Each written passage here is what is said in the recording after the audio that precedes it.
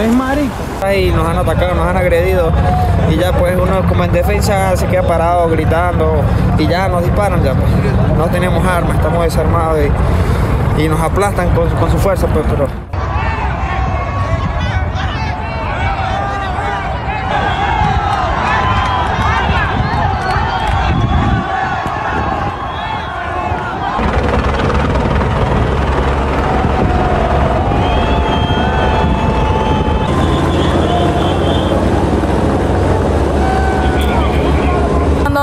tenían hincados allá, eh, agachados, nos dijeron que, que, nos iban a trasladar en cada vehículo de 15 en 15. Allí nosotros nos asustamos y nos dirigimos hacia atrás.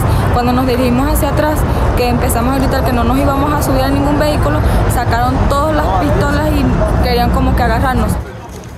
¡Abajo el título 42!